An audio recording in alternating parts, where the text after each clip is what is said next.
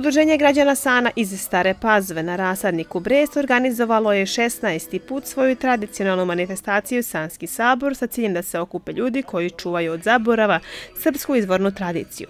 U sklopu manifestacije organizovana su nadvetanja u tradicionalnim sportskim igrama kao što su bacanje kamena sa ramena, skok u dalje, nadlačenje konopca, a organizovanje i turnir u malom futbalu. Mi smo već navikli, dugo godina dolazimo ovdje u Vojvodinu, žitište i u Staru Pazovu i znamo da svaki put bude nešto novo, ali svaki put bude lijepo. Na programu manifestacije bio je i kulturno-umetnički program i narodno veselje za sve prisutne. Ovaj sabor pokrenut je na inicijativu starijih rođaka i prijatelja koji su ranijih godina saborovali u zavičaju oko crkve.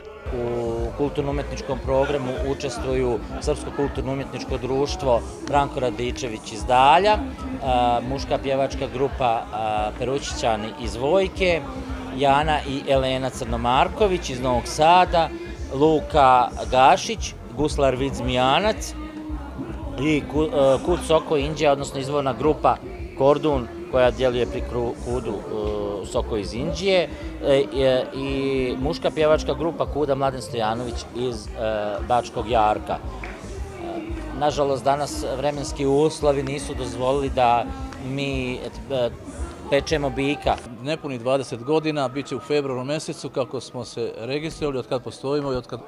Mada naša aktivno, aktivnost je počela ranije godinu dana, ali zvanično smo registrovani u februaru mjesecu 2004. godine i uskoro slavimo znači 20 godina. Manifestaciji je prisustovala i delegacija iz Bosne i Hercegovine na čelu sa podpredsjednikom Republike Srpske Davorom Pranjićem.